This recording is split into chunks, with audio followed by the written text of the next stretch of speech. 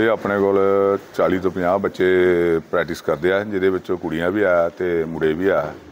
ਤੇ ਇੱਥੇ ਭਾਜੀ ਮੈਟ ਤੇ ਵੀ ਪ੍ਰੈਕਟਿਸ ਕਰਾਈ ਦੀ ਆ ਤੇ ਮਿੱਟੀ 'ਚ ਵੀ ਕਰਾਈ ਦੀ ਆ, ਕਿਉਂਕਿ ਮਿੱਟੀ 'ਚ ਤਾਂ ਕਰਾਈ ਦੀ ਆ ਵੀ ਚਲੋ ਦੰਗਲ ਦੁੰਗਲ ਬੱਚੇ ਦੇਖਦੇ ਆ। ਤੇ ਛੋਟੇ ਮੈਟ ਤੇ ਵੀ ਬੱਚੇ ਪ੍ਰੈਕਟਿਸ ਆਪਣੇ ਜਿੱਦਾਂ ਨੈਸ਼ਨਲ ਲੈਵਲ ਲਈ ਹੋ ਗਿਆ, ਉਹਨਾਂ ਲਈ ਜਿੱਦਾਂ ਪੰਜਾਬ ਖੇਡ ਮੇਲਾ ਹੋਈਆਂ, ਉਹਨਾਂ ਲਈ ਮਤਲਬ ਕਿ ਮੈਟ ਦੇ ਲਈ ਮੈਟ ਦੀ ਭਵਾਨੀ ਵੀ ਮੈਟ ਤੇ ਕਰਾਈ ਦੀ ਇਸੇ ਲਈ। ਏਜ ਗਰੁੱਪ ਰੱਖੇ ਗਏ ਨੇ ਜਾਂ ਕਿਵੇਂ ਕੋਲੋਂ ਨਿਕਲੇ? ਹਾਂਜੀ ਭਾਜੀ ਥੋੜਾ ਏ ਗਰੁੱਪ ਜਿਹੜੇ ਵੱਡੇ ਬੱਚੇ ਆ ਉਹਨਾਂ ਦਾ ਟਾਈਮ ਹੈ 3:30 ਵਜੇ ਤੋਂ ਲੈ ਕੇ 5:30 ਵਜੇ ਤੱਕ। ਉਸ ਤੋਂ ਬਾਅਦ 5 ਵਜੇ ਦੇ ਸਟਾਰਟ ਲੈ ਕੇ ਕੋਈ 6:30 ਪੌਣੇ 7 ਵਜੇ ਤੱਕ ਛੋਟੇ ਬੱਚਿਆਂ ਦਾ ਫਿਰ। ਤੇ ਜਿਹੜੇ ਭਲਵਾਨੀ ਤੇ ਤੁਸੀਂ ਗੌਰ ਦਿੰਦੇ ਇਹਨਾਂ ਕੋਲ ਕੋਈ ਫੀਸ ਵਗੈਰਾ ਵੀ ਲੈਂਦੇ? ਨਹੀਂ ਭਾਜੀ ਕੋਈ ਫੀਸ ਨਹੀਂ ਲਈ ਜੀ। ਤੇ ਕਿੰਨੇ ਕੁ ਬੱਚੇ ਆਪਣੇ ਇੱਥੋਂ ਜਿਹੜੇ ਮਤਲਬ ਕਿ ਖੇਡਾਂ ਦੇ ਵਿੱਚ ਅੱਗੇ ਜਾ ਚੁੱਕੇ? ਕਾਫੀ ਬੱਚੇ ਆ ਭਾਜੀ ਜਿੱਦਾਂ ਆਪਣੇ ਵੱਡੇ weight ਦੇ ਵਿੱਚ 96 ਕਿਲੋ ਚ ਵੀ ਆਪਣੇ ਖਾੜੇ ਦੇ ਮੁੰਡੇ ਦਾ ਪੰਜਾਬ ਖੇਡ ਮੇਲੇ 골ਡ ਆਇਆ। ਤੇ ਜਿਹੜੇ ਆਪਣੇ ਛੋਟੇ ਬੱਚਿਆਂ ਦਾ ਵੀ ਅੰਡਰ 50 ਚ ਅੰਡਰ 40 ਚ ਅੰਡਰ 70 ਦੇ ਵਿੱਚ ਮਤਲਬ ਕਿ ਇਹਨਾਂ ਦੇ ਵਿੱਚ 골ਡ ਆ ਆਪਣੇ ਖਾੜੇ ਦੇ ਬੱਚਿਆਂ ਦੇ। ਕਦੋਂ ਤੋਂ ਚਲਾ ਰਹੇ ਤੁਸੀਂ ਖਾੜਾ ਭਾਜੀ ਇਹਦੇ ਸਾਡੇ ਕਮ ਸੇ ਕਮ ਮੇਰੇ ਫਾਦਰ ਸਾਹਿਬ ਨੇ ਬਣਾਇਆ ਸੀ ਖੜਾ ਇਹ। ਤੇ ਮੇਰੇ ਤਾਂ 20 ਸਾਲ ਹੋਈ ਆ ਭਾਜੀ 15 ਤੋਂ 20 ਸਾਲ ਹੋ ਗਿਆ। ਆ ਉੱਪਰ ਹੀ ਪਲਾਸੀ ਹੋ ਗਿਆ ਹੋਣਾ। ਤੇ ਪਹਿਲੇ ਖਾੜਾ ਕੱਲਾ ਛੋਟਾ ਜਿਹਾ ਖਾੜਾ ਹੁੰਦਾ ਸੀ ਮਿੱਟੀ 'ਚ ਤੇ ਤਰ- ਤਰ- ਤਰਪਾਲਾਂ ਤਰਪਾਲਾਂ ਲਾ ਕੇ ਕੀਤਾ ਸੀ ਸਟਾਰਟ। ਫਾਦਰ ਸਾਹਿਬ ਨੇ ਬਾੜ ਜੀ ਲਾ ਕੇ। ਹੁਣ ਤੇ ਚਲੋ ਇਹ ਆ ਵੀ ਪਿਛਲੀ ਵਾਰੀ ਬੇ ਸਾਹਿਬ ਜਦੋਂ ਆਏ ਸੀ ਤੇ ਬੇ ਸਾਹਿਬ ਨੇ ਸਾਨੂੰ ਸ਼ੈੱਡ ਜੀ ਬਣਾ ਕੇ ਸ਼ੈੱਡ ਹਾਲ ਪੂਰਾ ਬਣਾ ਕੇ ਦਿੱਤਾ ਮੈਟ ਉਹਨਾਂ ਨੇ ਲਵਾ ਕੇ ਦਿੱਤਾ ਸਾਨੂੰ। ਇਹ ਆ ਵੀ ਚਲੋ ਉਹਨਾਂ ਦੀ ਬਦੌਲਤ ਆ ਵੀ ਜਿਹੜੇ ਅਸੀਂ ਮਿੱਟੀ ਤੋਂ ਮੈਟ ਦੇ ਆ ਗਏ। ਸਰਕਾਰ ਵੱਲੋਂ ਕਿਸੇ ਤਰ੍ਹਾਂ ਦੀ ਸਪੋਰਟ ਨਹੀਂ ਬਾਈ ਸਰਕਾਰ ਵੱਲੋਂ ਸਾਨੂੰ ਕੋਈ ਸਪੋਰਟ ਨਹੀਂ ਆ। ਸਿਰਫ ਇਹ ਸਾਨੂੰ ਬੇਜ ਸਾਹਿਬ ਦੀ ਸਪੋਰਟ ਇਹ ਹੋਈ ਵੀ ਸਾਨੂੰ ਜਿਹੜੇ ਮੈਟ ਤੇ ਇਹ ਹਾਲ ਮਿਲੇ ਸਾਨੂੰ। ਤੁਸੀਂ ਕਦੋਂ ਤੋਂ ਭਲਵਾਨੀ ਕਰ ਰਹੇ ਹੋ? ਕਦੋਂ ਤੋਂ ਜਿਹੜੀ ਆਪਣੀ ਗੁਰ ਦੇ ਰਹੇ ਸਿੱਖਿਆ? ਭਾਈ ਮੈਨੂੰ ਤਾਂ ਕਮ ਸੇ ਕਮ 25 26 ਸਾਲ ਹੋ ਗਿਆ ਭਾਈ ਤੇ ਤੁਸੀਂ ਭਲਵਾਨੀ ਜਿਹੜੀ ਹੈ ਆਪਣੇ ਸਟੇਟ ਲੈਵਲ ਤੇ ਲੜੀ ਹੈ ਜਾਂ ਇੰਟਰਨੈਸ਼ਨਲ ਲੈਵਲ ਭਾਈ ਮੈਂ ਅਸੀਂ ਨੈਸ਼ਨਲ ਤੱਕ ਲੜੀ ਹੈ ਓਕੇ ਹਾਂਜੀ। ਤੇ ਆਪਣੇ ਬੱਚੇ ਕਿਹੜੇ ਕਿਹੜੇ ਮੈਡਲ ਹੁਣ ਤੱਕ ਜਿਹੜੇ ਲੈ ਚੁੱਕੇ ਨੇ? ਭਾਈ ਆਪਣੇ ਬੱਚਿਆਂ ਦੇ 골ਡ ਸਾਰ ਕਾਫੀ ਬੱਚਿਆਂ ਦਾ ਜਿਹਨਾਂ ਦਾ 골ਡ ਬਰਾਊਨ ਸਿਲਵਰ ਸਾਰਿਆਂ ਦਾ ਮਤਲਬ ਕਿ ਤੁਸੀਂ ਬਣਾਇਆ ਜੀ ਵੇਟ ਦੇ ਸਭ ਹਾਂਜੀ। ਦੇਖਿਆ ਗਿਆ ਕਿ ਬੱਚਿਆਂ ਨੂੰ ਜਿਹੜੇ ਲੋਕੀ ਕੋਈ ਅਖਾੜੇ 'ਚ ਤੇ ਭੇਜਦੇ ਆ ਹਾਂਜੀ। ਪਰ ਕੁੜੀਆਂ ਨੂੰ ਨਹੀਂ ਭੇਜਦੇ। ਪਰ ਤੁਹਾਡੇ ਅਖਾੜੇ 'ਚ ਦੇਖਿਆ ਗਿਆ ਕਿ ਕੁੜੀਆਂ ਨੂੰ ਵੀ ਅੱਗੇ ਵੱਧ ਚੜ ਕੇ ਸਿੱਖਿਆ ਦਿੱਤੀ ਜਾ ਰਹੀ ਹੈ। ਨਹੀਂ ਭਾਈ ਅੱਜ ਦੇ ਸਮੇਂ ਦੇ ਵਿੱਚ ਨਾ ਕੁੜੀਆਂ ਤੇ ਮੁੰਡਿਆਂ ਵਿੱਚ ਕੋਈ ਫ਼ਰਕ ਨਹੀਂ ਰਹਿ ਗਿਆ। ਅੱਜ ਤੁਸੀਂ ਦੇਖ ਲਓ ਹੁਣ ਪਿੱਛੇ 올림픽 ਹੋਈ ਆ ਕੁੜੀਆਂ ਦੇ ਮੈਡਲ ਜ਼ਿਆਦਾ ਸੀ ਰੈਸਲਿੰਗ ਦੇ ਵਿੱਚ ਮੁੰਡਿਆਂ ਦੇ ਘੱਟ ਸੀ। ਮੁੰਡਿਆਂ ਤੇ ਮਤਲਬ ਕਿ ਕੋਈ ਵੀ 올림픽 ਦੀ ਗੇਮਾਂ 'ਚ ਕੁੜੀਆਂ ਦੇ ਮੈਡਲ ਹੀ ਇੰਡੀਆ ਦੇ ਵਿੱਚ ਜ਼ਿਆਦਾ ਆਏ ਆ ਮੁੰਡਿਆਂ ਦੇ ਤੇ ਘੱਟ ਹੀ ਆਏ ਆ। ਕੁੜੀਆਂ ਅੱਜ ਦੇ ਟਾਈਮ ਦੇ ਵਿੱਚ ਬਹੁਤ ਵਧੀਆ ਸਪੋਰਟਸ ਦੇ ਅੱਗੇ ਆਈਆਂ। ਸਾਡੇ ਹੁਣ ਪਠਾਨਕੋਟ ਦੀਆਂ ਕਾਫੀ ਕੁੜੀਆਂ ਤੁਸੀਂ ਦਿਖੇ ਹੀ ਆ। ਅੱਜ ਕੁਝ ਟਾਈਮ ਥੋੜਾ ਜਲਦੀ ਕਰ ਰਿਹਾ ਥੋੜੀਆਂ ਕੁੜੀਆਂ ਲੇਟ ਆਣੀਆਂ ਕਿਉਂਕਿ ਟਿਊਸ਼ਨ ਬੱਚੇ ਪੜਦੇ ਆ। ਕਾਫੀ ਕੁੜੀਆਂ ਸਾਡੇ ਕੋਲ ਆਂਦੀਆਂ ਤੇ ਬਹੁਤ ਵਧੀਆ ਕਰਦੀਆਂ। ਹਾਂਜੀ ਮੇਰੀ ਜਿਹੜੀ ਖੁਦ ਦੀ ਬੇਟੀ ਆ ਇਹਦਾ ਮੇਰੇ ਹਿਸਾਬ ਨਾਲ 6 ਮੈਡਲ 6 ਛੇਵਾਂ ਮੈਡਲ ਆ ਭਾਈ ਹੁਣ ਪੰਜਾਬ ਦੇ ਵਿੱਚ। ਨੈਸ਼ਨਲ ਦੋ ਵਾਰੀ ਨੈਸ਼ਨਲ ਖੇਡੀ ਆ। ਹੁਣ ਤੀਜੀ ਨੈਸ਼ਨਲ ਇਹਦੀ ਪਟਿਆਲੇ ਲੱਗਣੀ ਆ ਭਾਈ 28 ਨੂੰ। ਕੀ ਸੋਚ ਕੇ ਅਖਾੜਾ ਜਿਹੜਾ ਚਲਾਇਆ ਜਾ ਰਿਹਾ? ਭਾਜੀ ਇਹੀ ਸੋਚ ਕੇ ਚਲਾਇਆ ਦਾ ਵੀ ਚਲੋ ਜੇ ਆਪਣੇ ਕੋਲ ਕੋਈ 40 50 ਬੱਚੇ ਆਉਂਦੇ ਆ ਚਲੋ ਨਸ਼ੇ ਤੋਂ ਤਾਂ ਬਚਣਗੇ। ਨਸ਼ਿਆਂ ਤੋਂ ਬਚਣਗੇ ਕਿਤੇ ਭਰਤੀ ਹੋਣਗੇ ਕਿਤੇ ਵਧੀਆ ਮੈਡਲ ਲੈਣਗੇ ਕਿਤੇ ਵਧੀਆ ਨੌਕਰੀ ਜੋਬ ਮਿਲੇਗੀ ਵੀ ਨਸ਼ੇ ਤੋਂ ਦੂਰ ਰਹਿਣਗੇ। ਸਰਕਾਰ ਸਰਕਾਰ ਤੋਂ ਕੋਈ ਮੰਗ ਆਪਣੇ ਹੱਥ ਸਰਕਾਰ ਤੋਂ ਤੇ ਭਾਜੀ ਸਾਡੀ ਇਹੀ ਮੰਗ ਆ ਵੀ ਜਿੱਦਾਂ ਸਾਨੂੰ ਬੱਚਿਆਂ ਲਈ ਡੰਮੀਆਂ ਸਾਡੇ ਕੋਲ ਨਹੀਂ ਆ ਜਿਹਦੇ ਨਾਲ ਡੰਮੀ ਨਾਲ ਪ੍ਰੈਕਟਿਸ ਹੁੰਦੀ ਆ ਉਹ ਸਾਡੇ ਕੋਲ ਨਹੀਂ ਆ।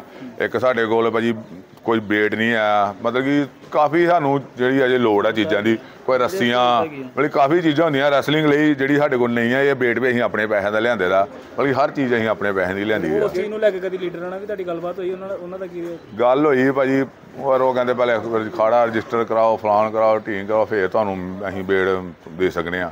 ਜਿਹੜੇ ਬੱਚੇ ਨਸ਼ਲ ਰੁੱਖ ਕਰ ਰਹੇ ਆ, ਉਹਨਾਂ ਨੂੰ ਕੀ ਮੈਸੇਜ ਦੇਣਾ? ਉਹਨਾਂ ਨੂੰ ਇਹੀ ਮੈਸੇਜ ਆ, ਨਸ਼ੇ ਤੋਂ ਨਸ਼ੇ 'ਚ ਕੁਛ ਨਹੀਂ ਰੱਖੇਦਾ ਆਪਣੇ ਗੇਮ ਕਰੋ, ਭਲਵਾਨੀ ਕਰੋ, ਹਾਂ, ਕੋਈ ਵੀ ਗੇਮ ਖੇਡ ਲਓ ਆਪਣੇ ਜਿਮ ਲਾ ਲਓ, ਆਪਣੇ ਨਸ਼ੇ ਤੋਂ ਬਚੋ, ਹਨਾ ਰੈਸਲਿੰਗ ਕਰੋ, ਕੋਈ ਵੀ ਗੇਮ ਕਰੋ, ਇਸ ਪਾਸੇ ਆਉਣਗੇ ਗੇਮ ਕੋਈ ਵੀ ਗੇਮ ਕਰੋਗੇ, ਨਸ਼ੇ ਤੋਂ ਬਚ ਜਾਣਗੇ, ਕਿਤੇ ਆਪਣੇ ਨੌਕਰੀ ਵਗੈਰਾ, ਕੋਈ ਵੀ ਕੰਮ ਕਰਨਗੇ, ਮਤਲਬ ਕਿ ਨਸ਼ੇ ਤੋਂ ਤਾਂ ਬਚਣਗੇ।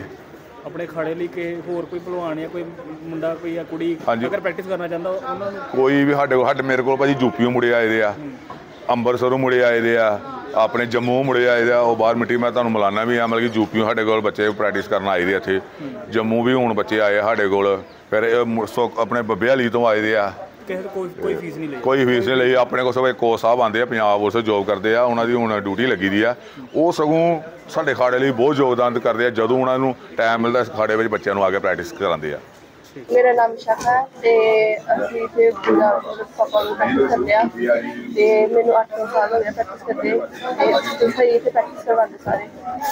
ਤੇ ਹੁਣ ਕਿਹੜਾ ਮੈਡਲ ਤੁਸੀਂ ਜਿਹੜਾ ਜਿੱਤ ਕੇ ਜਿਹੜਾ ਆਪਣੇ ਖਾੜੇ ਦਾ ਮਿਲਦਾ ਮਤਲਬ ਗੋਲਡ ਮੈਡਲ ਆਇਆ, ਪੰਜਾਬ ਤੋਂ ਤੇ ਹੁਣ ਆਪਾਂ ਨੈਸ਼ਨਲ ਜਾਣਾ ਪਟਿਆਲੇ। ਕਿਹੜੇ ਏਜ ਗਰੁੱਪ 'ਚ ਜਿਹੜਾ ਗੋਲਡ ਮੈਡਲ ਲਿਆ ਗਿਆ? ਅੰਡਰ 70 ਤੇ ਕਿਸ ਤਰ੍ਹਾਂ ਦੇ ਜਿਹੜੇ ਟਿਪਸ ਇੱਥੇ ਦਿੱਤੇ ਜਾਂਦੇ ਤੁਹਾਡੇ ਫਾਦਰ ਸਾਹਿਬ? ਨੂੰ ਤੇ ਸਾਰੇ ਅੱਛੇ ਪਾਪਾ ਵੀ ਅੱਛੇ ਪੜਾਉਂਦੇ ਨੇ ਕੋਰਸ ਕਰਦੇ ਸਾਰੇ। ਤੁਸੀਂ ਸਪੋਰਟਸ ਵਿੱਚ ਆਏ ਭਲਵਾਨੀ ਦੇ ਵਿੱਚ। ਕਿਹਦੇ ਕੋਲ ਸਪੈਸ਼ਲ ਹੋਏ ਕਿ ਇਸ ਲਾਈਨ ਚ ਆਏ? ਦਾ ਦਾ ਹੀ ਲੜਕੀਆਂ ਨੂੰ ਅੱਜ ਵੀ ਕਿਤੇ ਨਾ ਕਿਤੇ ਜਿਹੜੇ ਪੇਰੈਂਟਸ ਉਹ ਪਿੱਛੇ ਰੱਖਦੇ ਆ ਤੁਸੀਂ ਭਲਵਾਨੀ ਜਾ ਕੇ ਇੱਕ ਐਗਜ਼ਾਮਪਲ ਸੈੱਟ ਕਰਦੇ ਹੋ। ਉਹਨਾਂ ਲੜਕੀਆਂ ਨੂੰ ਜਾਂ ਜਾਂ ਉਹਨਾਂ ਦੇ ਪੇਰੈਂਟਸ ਨੂੰ ਕੀ ਮੈਸੇਜ ਦੇਣਾ ਚਾਹੋਗੇ ਕਿ ਲੜਕੀਆਂ ਨੂੰ ਵੀ ਗੇਮਾਂ ਦੇ ਵਿੱਚ ਅੱਗੇ ਆਉਣਾ ਚਾਹੀਦਾ। ਲੜਕੀਆਂ ਨੂੰ ਵੀ ਗੇਮਾਂ ਵਿੱਚ ਲੱਗਿਆ ਕਿਉਂਕਿ ਇੰਡੀਆ ਵਿੱਚ ਜ਼ਿਆਦਾ ਮੈਡਲ ਲੜਕੀਆਂ ਦੇ ਹੀ ਆਏ ਆ ਇਸ ਕਰਕੇ। ਤੇ ਗਾਈਡ ਵਗੈਰਾ ਕਿਸ ਤਰ੍ਹਾਂ ਦੀ ਰਹਿੰਦੀ ਹੈ ਇਹਨਾਂ ਵੱਲੋਂ ਕੋਈ ਗਾਈਡ ਕੀਤੀ ਜਾਂਦਾ ਹੈ ਆਪਣੇ ਲੈਵਲ ਤੇ ਗਾਈਡ ਨਹੀਂ ਨਹੀਂ ਡਰਾਈਵ ਪਾਪਾ ਵਗੈਰਾ ਪਾਪਾ ਦੱਸਦਾ ਕਿ ਇੱਦਾਂ ਕਰਨਾ ਸਾਰਾ। ਤੇ ਕਿੰਨੇ ਬ੍ਰਦਰ ਸਿਸਟਰ ਨੇ ਤਿੰਨ ਇੱਕ ਵੱਡਾ ਚਾਰ। ਸਾਰੇ ਇਹ ਭਲਵਾਨੀ ਕਰਦੇ? ਉਹਨਾਂ ਨੇ ਵੀ ਕੋਈ ਮੈਡਲ ਵਗੈਰਾ ਨੇ? ਹਾਂਜੀ ਮੇਰੇ ਛੋਟੇ ਭੈਣ ਦਾ ਵੀ ਪੰਜਾਬ ਦੇ ਬ੍ਰੌਂਜ਼ ਮੈਡਲ ਆ ਤੇ ਛੋਟੇ ਭਰਾ ਦਾ ਸਿਲਵਰ ਆ ਵੱਡੇ ਭਰਾ ਦਾ ਵੀ 골ਡ ਆ।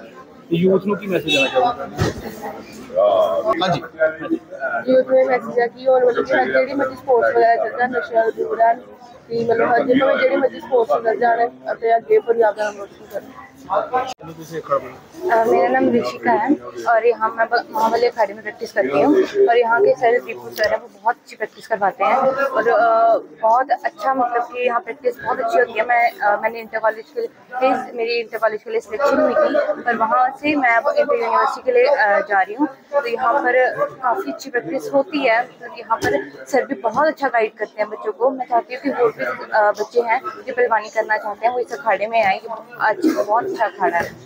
कितनी देर से आप हैं मेरे को यहाँ पर तीन साल हो गया है प्रैक्टिस करते हुए और यहाँ पर काफ़ी अच्छी प्रैक्टिस होती है। किस तरीके किसी तरीके की फ़ीस ली जा रही है नहीं यहाँ फ्री ऑफ़ कॉस्ट कराया जाता है। यहाँ सभी का अलाउड है। इस रेसलिंग को क्यों चुना या कैसे चुना?